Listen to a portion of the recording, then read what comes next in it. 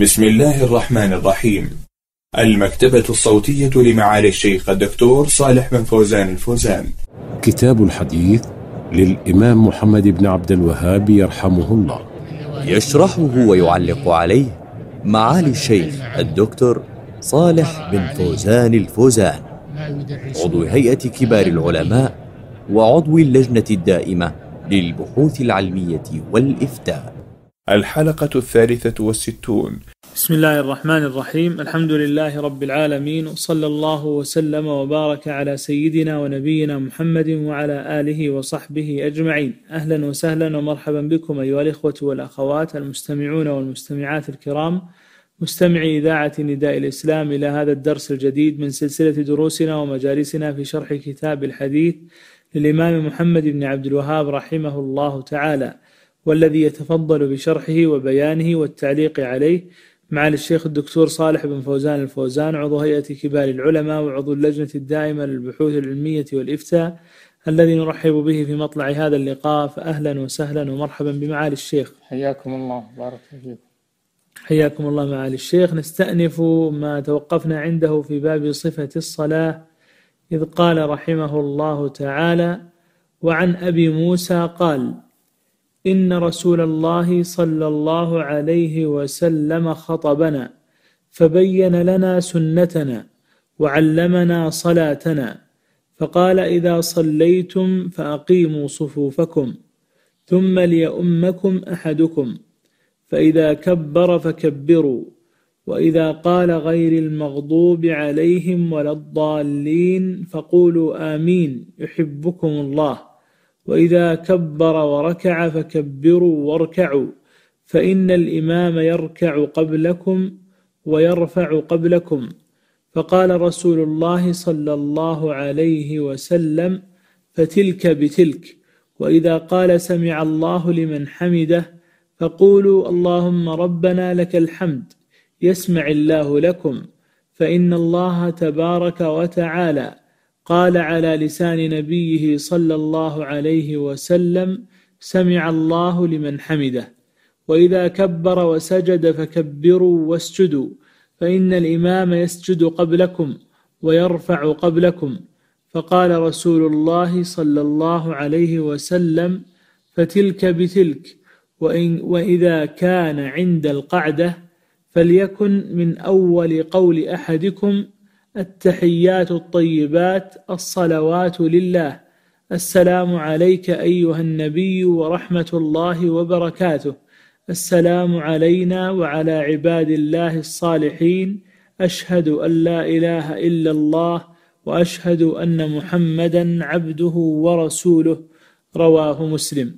بسم الله الرحمن الرحيم. الحمد لله والصلاة والسلام على رسول الله وعلى آله وصحبه أجمعين. عن أبي موسى قال إن رسول الله صلى الله عليه وسلم خطبنا فبين لنا سنتنا وعلمنا صلاتنا. يقول أبو موسى رضي الله عنه إن رسول الله صلى الله عليه وسلم خطب أصحابه وبين لهم صلاتهم أي كيف يصلون. وهذا من ما مما جاء به رسول الله صلى الله عليه وسلم أنه يبلغ أمته ما يقولون وما يفعلون من أمور دينهم عامة وفي صلاتهم خاصة. نعم. فقال إذا صليتم فأقيموا صفوفكم. قال إذا صليتم فأقيموا صفوفكم يعني عدلوها. إذا كانوا صفوفا فإنهم يعدلون الصفوف ولا يتركون فيها اعوجاجا ولا فرجا بل يسدون الفرج ويعدلوا يعدلون الصفوف. وهذا من تمام الصلاة. وكان صلى الله عليه وسلم تفقد أصحابه في هذه الأمور ولا يكبر حتى يتأكد من أنهم تراصوا في صفوفهم وعدلوها. نعم. ثم ليؤمكم أحدكم. ثم ليؤمكم أحدكم. في الحديث يقرأكم لكتاب الله. قال صلى الله عليه وسلم يؤم القوم أقرأهم لكتاب الله. يعني أكثرهم أخذا للقرآن أو أحسنهم تلاوة. نعم. فإذا كبر فكبروا. نعم. وإذا قال غير المغضوب عليهم ولا الضالين فقولوا آمين يحبكم الله. نعم وهذا فيه أن أفعال الإمام أن أفعال الإمام تتقدم على أفعال المأمومين ولذلك سمي إماما. قال صلى الله عليه وسلم إنما جعل الإمام ليؤتم به فإذا كبر فكبروا إلى آخر الحديث. ففيه أن المأمومين يتابعون إمامهم وفي أقواله وأفعاله فيأتون بذلك بعده مباشرة. ولا ولا يتقدمونه ولا يوافقونه وإنما تكون أفعالهم وأقوالهم بعد إمامهم. نعم. وإذا قال غير المغضوب عليهم ولا الضالين فقولوا آمين يحبكم الله. إذا قال ولا غير المغضوب عليهم وهم اليهود ومن وكل من عنده علم لا يعمل به ولا الضالين وهم النصارى وكل من عنده من ليس عنده علم وإنما يعبد الله على جهل وضلال. فتسأل الله يجنبك طريق الفريقين. ثم يقول الإمام والمأمومون آمين لكن يكون تأمين الإمام قبل المأمومين. ومعنى آمين اللهم استجب. وآمين سنة قولها سنة في هذا المو... في في الصلاة. نعم. يقول آمين يحبكم الله. نعم يحبكم الله. في إذا فعلتم ذلك أحبكم الله لأنكم فعلتم ما أمرتم به. ف... و... والله جل وعلا يحب التوابين ويحب المتطهرين ويحب المحسنين ويحب المتقين فهو جل وعلا يوصف بأنه يحب وأنه يحب سبحانه وتعالى. نعم. وإذا كبر وركع فكبروا واركعوا. وإذا كبر وركع فكبروا واركعوا. فيه أن المأموم أن المأمومين يأتون بالتكبير وبالركوع بعد إمامهم. لا يسابقونه ولا يوافقونه وإنما يتابعونه بمعنى أنهم يأتون بالأقوال والأفعال بعد الإمام. نعم. فإن الإمام يركع قبلكم ويرفع قبلكم. هذا هذا هذه مهمة الإمام أنه يرفع قبل المأمومين ويرفعون بعده ويركع قبلهم ويركعون بعده ولا يوافقونه ولا يتقدمونه. نعم. فقال رسول الله صلى الله عليه وسلم فتلك بتلك وإذا قال سمع الله لمن حمده فقولوا اللهم ربنا لك الحمد. نعم الإمام يقول سمع الله لمن حمده. أي استجاب سمع يعني استجاب لمن حمده. يقول المأمومون ربنا ولك الحمد ولا يقولون سمع الله لمن حمده وإنما يقولون سمع يقولون ربنا ولك الحمد. والإمام يجمع بينهما يقول سمع الله لمن حمده ويقول ربنا ولك الحمد. نعم. فقولوا اللهم ربنا لك الحمد يسمع الله لكم. يسمع الله لكم يعني يستجيب. يسمع هنا بمعنى يستجيب لكم. نعم. فإن الله تبارك وتعالى قال على لسان نبيه صلى الله عليه وسلم سمع الله لمن حمده. نعم أن هذا أن الرسول صلى الله عليه وسلم يقول ما أمره الله به. نعم. وإذا كبر وسجد فكبروا واسجدوا فإن الإمام يسجد قبلكم ويرفع قبلكم. نعم هذا فيه أن أفعال الإمام تسبق أفعال المأمومين فلا يجوز لهم إلا أن يأتوا بأفعالهم إلا بعد أفعال الإمام. نعم لأنه هو قدوتهم في الصلاة. نعم.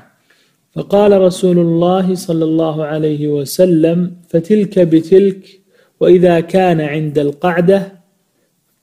نعم. فليكن من أول قول أحدكم التحيات الطيبات الصلوات لله. وإذا كان عند القعدة يعني الجلسة جلسة التشهد الأول. جلسة التشهد الأول. فإن الجميع يقولون التحيات لله أي جميع التعظيمات. لله سبحانه وتعالى. نعم. الصلوات لله. الصلوات لله الدعوات والصلوات الخمس والنوافل كلها لله. يجب أن تكون لله خالصة لله ليس فيها رياء ولا سمعة. نعم. السلام عليك أيها النبي ورحمة الله وبركاته. هذا السلام على النبي صلى الله عليه وسلم في التشهد الأول. واجب من واجبات الصلاة. نعم. السلام علينا وعلى عباد الله الصالحين. هذا فيه صفة السلام التشهد الأول أنه يقول السلام عليك أيها النبي ورحمة الله وبركاته السلام علينا وعلى عباد الله الصالحين تسلم على نفسك وعلى كل عبد صالح في السماء والأرض.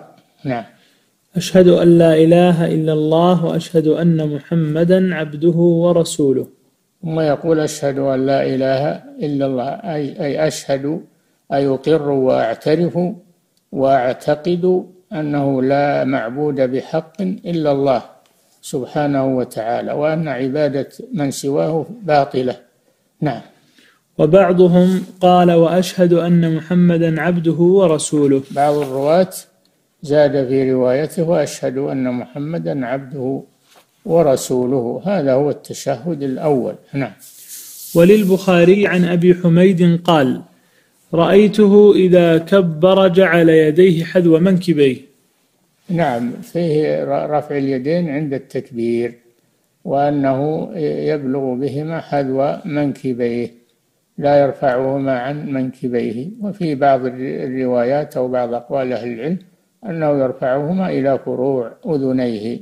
نعم. وإذا ركع أمكن يديه من ركبتيه. وإذا ركع ألقم كل يد آه، ركبة يلقمها إياها بمعنى أنه يقبض ركبتيه بكفيه. نعم. ثم هصر ظهره.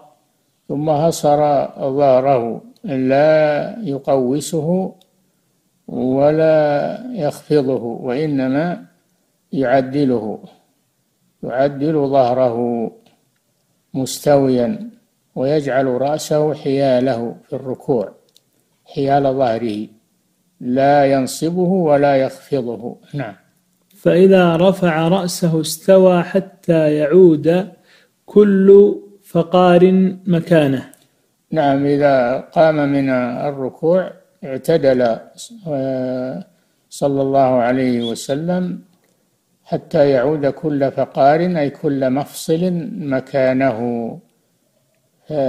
وهذا من الطمأنينة في القيام من الركوع والاعتدال من الركوع. نعم.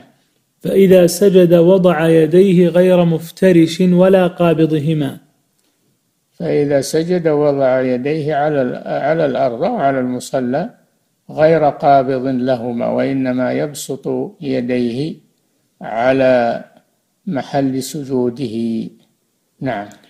واستقبل بأطراف أصابع رجليه القبلة. نعم يسجد على أطراف قدميه ويجعل بطون أصابع رجليه إلى الأرض ورؤوس أصابعها إلى القبلة. نعم. فإذا جلس في الركعتين جلس على رجله اليسرى. يفترش صلى الله عليه وسلم وكذلك كل مصل يفترش في الجلسة جلسة التشهد الأول بمعنى أنه يفرش رجله اليسرى ويقعد عليها وينصب اليمنى ويخرجها من تحته. نعم. وإذا جلس في الركعة الأخيرة قدم رجله اليسرى ونصب اليمنى وقعد على مقعدته. التشهد الأخير يجلس متوركا بمعنى أنه ينصب اليمنى ويفرش اليسرى ويخرجهما من تحته ويقعد على الأرض. هذا الجلسة الجلسة الأخيرة من الصلاة التي يعقبها سلام ويسمى هذا بالتورك. نعم. أحسن الله إليكم معالي الشيخ وضاعف مثوبتكم إلى هنا نأتي وإياكم أيها الكرام إلى ختام هذا الدرس من من دروس شرح كتاب الحديث الإمام محمد بن عبد الوهاب رحمه الله تعالى. شاكرين ومقدرين لمعالي شيخنا الشيخ صالح بن فوزان الفوزان هذا الشرح والعرض والبيان. آه، نلتقي وإياكم في الدرس القادم إن شاء الله وأنتم على خير. هذا يزيد الريش يترككم في رعاية الله وحفظه إلى ذلكم الحين. السلام عليكم ورحمة